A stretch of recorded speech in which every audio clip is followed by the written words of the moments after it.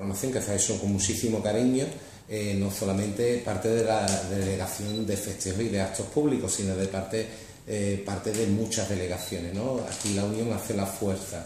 Eh, tanto tenemos colaboraciones con la Concejalía de Deporte, Juventud, en este caso con el tema del skate, pero creo que aquí las joyas de la corona este año, porque sí que es verdad, hay un cambio, hemos creado un clima adecuado, una atmósfera adecuada, también Recordad de que turismo también está ahí de la mano, como bien ha dicho la alcaldesa y las asociaciones de al lado.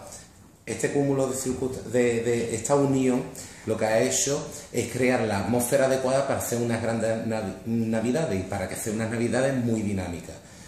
Eh, todavía estamos ahí con las expectaciones de las luces, eh, que va a ser un punto, un gran punto importante eh, dentro de nuestra programación, que va a ser el día 5 ¿eh? El encendido.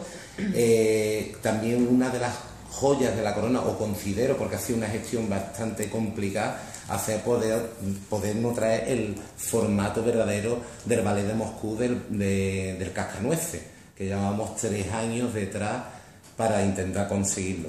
Y con eso, y no tengo mucho más que decir, eh, si tenéis alguna pregunta. Gema, una evaluación global de tuya de la, de la programación.